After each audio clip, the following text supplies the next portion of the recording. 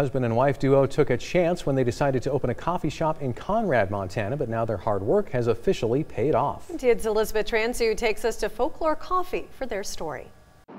Exit 335 off Interstate 15. We, we pride ourselves in, in thinking that we have some of the best quality in the state. Lies Conrad, Montana.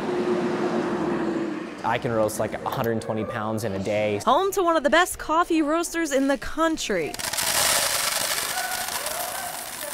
Small town Montana doesn't always get the best treatment coffee wise, so we thought let's go all in. And we're not making this up. Owner and coffee bean fanatic Andrew Pollard won a gold medal in the Golden Bean North America in Portland, Oregon, the largest coffee roasting competition in the world. And there we go. We just kind of did everything we could to figure out how can we do this the best way we could. But with over 900 entries, what makes folklore the best of the best? Um, roasting has kind of become an obsession. I'm a little bit of a nerd about Andrew it. and his wife traveled the world learning the perks of the trade, and now their cup of joe is brewing up from Washington to Louisiana.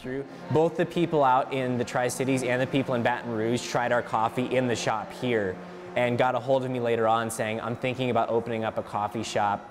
Um, would you guys look into roasting for us? But no matter what, just about anyone that walks through the door.